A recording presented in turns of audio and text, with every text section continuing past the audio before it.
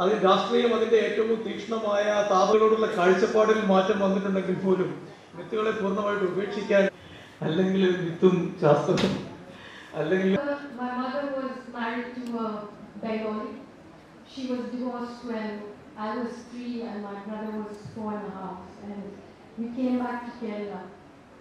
ആ സമയത്ത് എല്ലാവരും പറയുമായിരുന്നു ഞങ്ങൾ അഡ്രസ് ഇല്ലാത്ത പിള്ളേരാണ് We are children without a tharavad. We are children without a proper, uh, what do you say, bloodline. People used to tell my mother, even when I was 16, 17, and even no good Syrian Christian boy will ever marry her. I learned very young to say, I don't want any goddamn Syrian Christian boy to marry me. You know? When I was, um, once I went to a, and, and, and my mother used to, maybe she was one of the few mothers in the world who used to tell me, don't get married. I don't get married. And I took that quite seriously, and so I got married a few times. But uh, she once took me to a meeting where there were a lot of rich Syrian Christian women with diamonds. They were supposed to be discussing dowry. It turned out to be a discussion about how to give their daughters dowry, even though that was not such a great thing to be doing. So my mother was shouting at them, and you know. So I said, but if you want to give your daughter some something, then why don't you just give her something? Why do you have to uh, connect it with marriage? Just give her something. So, so this lady told me, no, she'll be brought up to be bold, and bold women can never have a happy marriage. So I said, that's not true. You know, I was brought up to be bold, and I have had several happy marriages. so this is this is the truth, you know, that I'm not somebody who has just only suffered and fought. I am a woman who has insisted that we have the right to be happy. We have the right to be free. We have the right to love people and then stop loving them also. We have the right to do what the hell we want to do. You know, so this has a lot to do with the way I write. When when I was of course, I left home when I was 17. My mother and I were, you know, I mean, that's another story. But we, when she died last last year, some of her students asked me for the school magazine to. Uh, they asked me what my relationship with my mother was like, and I said it was the wary relationship between two nuclear powers. like we were careful and respectful of each other. But I left home when I was 17. I was studying architecture and I basically lived independently. I put myself through college. I worked my way through and um, every now and then, you know, people used to tell her that, oh, you know, your daughter, she's so and so's mistress or so and so something. So when I wrote the God of Small Things and I got a very big advance for that, uh, the next man who told my mother that no Syrian Christian boy will her and she's so and so's mistress, I just faxed him my bank account details and said, you know, that you can be my mistress if you want. That is in its place as me as a writer. But what I want to say to you today is, you know, that the last 25 years that I've been writing, I have, you know, you know, written about globalization, about displacement, uh, about rising fascism in this country. But today, we are in a different phase. And you know, in Kerala, you're not able to understand it because you're still in a place which is relatively intelligent, relatively politically aware. But in the rest of the country, something has gone into a new chapter. I'm not just talking about elections or who's going to be in the next government. Something has gone very wrong. I just want to say a few things, you know. to explain this.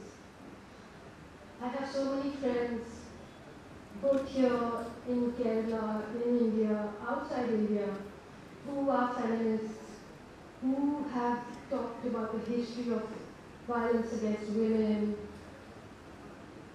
have talked about the history of the use of rape as a weapon of war. Today we are in a situation where women are justifying rape, where women are telling men to rape other women. I'm talking about not just Manipur. I'm talking about so many cases, whether it's in Hathras, whether it was in uh, J&K, where depending on who is raping who, the women stand up for that community. This means we've gone psychotic. There's something very wrong. We have a situation where in uh, Haryana recently, you have people who are accused of murder, of burning two Muslim men alive, leading a religious procession. You have a situation where the police are handing over women to a mob to be raped. You have a situation where a railway protection force officers walking down bogies shooting Muslims and saying you must vote for Modi. And it's a mistake to think this person is mad, this person is sane, this person is just absorbing all the propaganda day and night that's coming out at him. So we are in a place where really it's a different phase altogether. I live in Delhi. I'm so scared on the road. One little thing happens and 50 men with orange scarves will come. They know who I am. You know, they can, and I'm just not talking about me, but imagine if you're a Muslim. You, you, you, you, you, you might have a parking problem that can end in your death, in your lynching. You might be just going home from Delhi to Aligarh to see your parents, you end up, you can end up there. This is the country that we are living in now. And this is the shame, the shame that we are not saying anything. Manipur, I would like to say that there's a civil war going on. It's not a civil war. It's a kind of ethnic cleansing because the center is complicit. The state is partisan. The security forces are split between one partisan lot, the police, and the others with no, with no chain of command. It's a border state. There's a huge drug trade. There's, there's underlying it a religious conflict between the Kukis who are mostly Christian and the others. The church is also being divided. And from Manipur to Haryana to all the other states that are going to stand election up, it's like a fuse is being lit. I mean, while I have this podium, I, I think the Kerala government should try and help in Manipur. It should send a fact-finding committee. It should send relief. But we don't even know how to help because we don't know what's going on there. The internet is shut. This, I mean, it's like, I was thinking, you know, there's a rumor that the Prime Minister has resigned, but he doesn't know when to submit his resignation letter because people are too scared to receive it. But that man is missing. There's a war, women are being raped, paraded naked, the squatter colonies are being burnt, Muslims are having cross marks put on their door, they're fleeing. And he's tweeting, I had appam last night for dinner. This is the Prime Minister.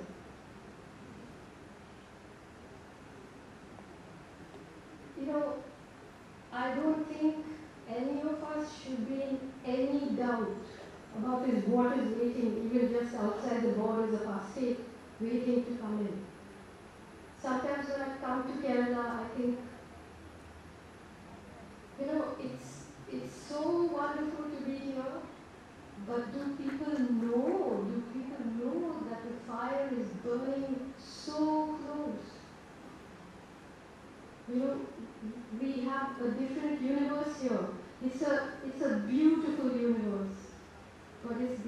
you know. And, and, and I, I can't tell you how dangerous the situation is. We are only hearing the words extermination, annihilation. These are open words now on the streets of Manipur, on the streets of Haryana. Annihilate. That's what they are saying about Muslims, about Houthis. This language is not even secret anymore. It's not some small group of people. They're saying it openly on the streets. People are openly going to cinema halls, watching Kashmir Files and saying we should rape Muslim women. People are openly on the streets with swords, with guns. There was that man, one of the men who led the march into um, into Nuh in Haryana. He said, he said, आप लोग तैयार हो जाओ, तुम्हारा दामाद आ रहा है. means your son-in-law is coming.